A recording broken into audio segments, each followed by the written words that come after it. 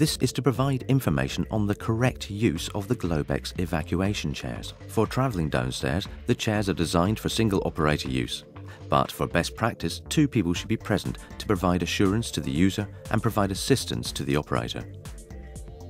Practicing with the chair should be with people of the same size and weight. Whilst the chair does the work, operators should be physically fit, confident in its use, and always wear appropriate footwear.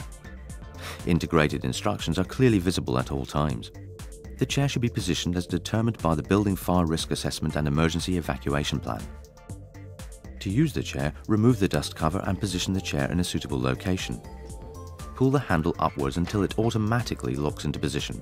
Unfasten the belt to free the seat and skis. With one hand, hold the back of the chair and with the other hand, pull the seat to the fully open position.